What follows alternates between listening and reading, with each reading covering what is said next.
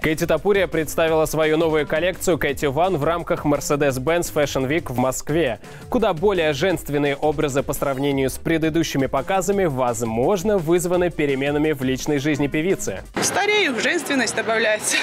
Грузинский шопинг давно стал популярным среди наших звезд, но даже они не всегда могут позволить себе модные бренды. Грузинские кроссовки, они действительно крутые, но 600 евро, извините. Он шутит.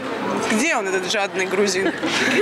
Впервые за свою дизайнерскую историю Кэти не взяла за кулисы дочь Оливию, а значит, пока внимание гостей было приковано к подиуму, пресса искала глазами Гуфа. Надеюсь, что придет поддержать. Друзей надо поддерживать. Хотя, по словам Тапури, не оказалось его даже в списке приглашенных. Алексея? А, Алексей э, в Израиле. Не было даже постоянного гостя Филиппа Киркорова, звезда на гастролях и, видимо, ждет, когда Кэти наберется опыта и все-таки выпустит в свет мужскую линейку.